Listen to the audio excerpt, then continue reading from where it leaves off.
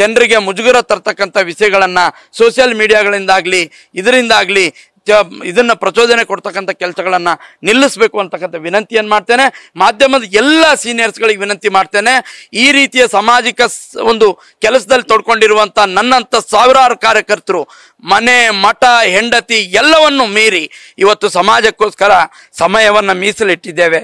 ಅಂಥವ್ರ ಬಗ್ಗೆ ಏನು ವರದಿಗಳು ಬರ್ತಾ ಇದೆ? ಅದ್ರ ಬಗ್ಗೆ ಸಂಪೂರ್ಣ ತನಿಖೆ ಆಗಬೇಕು.